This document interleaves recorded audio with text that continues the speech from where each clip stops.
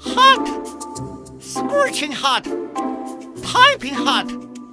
What's wrong with the earth?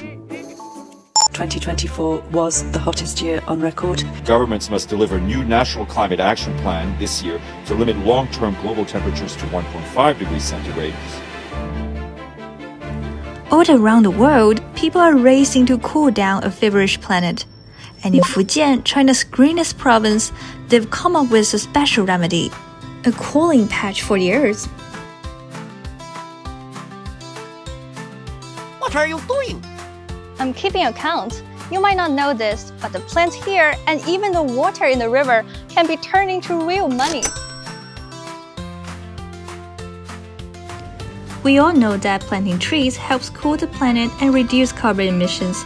But did you know that rivers and lakes are also hidden carbon cutting champions?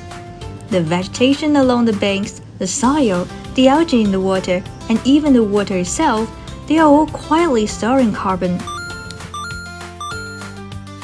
Storing carbon is like depositing into the Earth's green bank. Through photosynthesis, these river and lake ecosystems lock away carbon, preventing it from entering the atmosphere and ultimately easing the greenhouse effect. This process is called a carbon sink. If the carbon sinks of rivers and lakes are the Earth's fixed deposits, then the people of Fujian have activated its checking account. Here, the carbon stored in rivers and lakes has now become a tradable asset. Recently, the river and lake ecosystem in the upper Minjiang River generated their first pot of gold, the country's very first river based carbon credit transaction.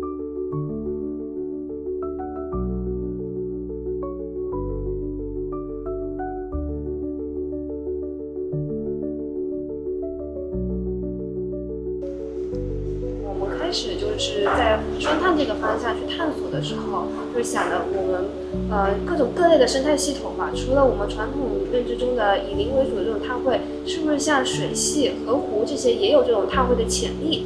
然后我们本身福建的这个生态又非常好，然后我们是不是可以有这种方式去把这种绿水青山啊转化为一山一山这个路径去研究一下？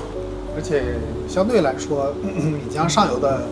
这个流域植被比较多，而且相对来说生态保护也比较好，它比较适合做这种碳汇的测量。植被生态系统里面，它有几种不同类型的碳库，一种呢是土壤，一种呢是水体，还有一种是沿岸的植被。这种，然后我们把这三种类型的碳库的在这段时期之间的变化量，通过实测手段或者是卫星遥感的手段，把它来计算出来以后，然后把它们三个加在一起。一方面呢，对这个水体治理的企业给他们带来经济收益；另外一方面呢，我们也给一些，呃，碳排放相对比较高的行业，给他们带来了一个碳中和的一个方式。他们可以通过购买我们的碳汇量，然后来实现他们企业的碳中和。他们企业购买碳汇要多一多一项经济成本，其实是通过这个购买的经济成本会倒逼他们节能减排。如果我技改做得好的，我的呃碳排放小的话，那我就不必支出这笔购买的成本。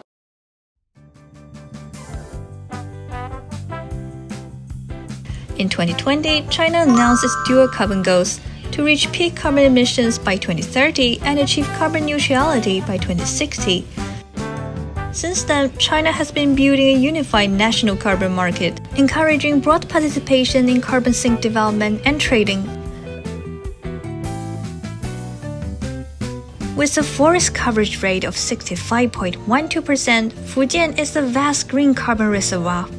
From forestry and bamboo carbon sinks to today's river and lake carbon sinks, Fujian is pioneering new ways to turn its clear waters and green mountains into tangible, measurable carbon assets. I believe that under the guidance of the dual carbon goals, China's flowing rivers and lush forests are becoming gentle cooling remedies, writing the story of harmony between humans and nature.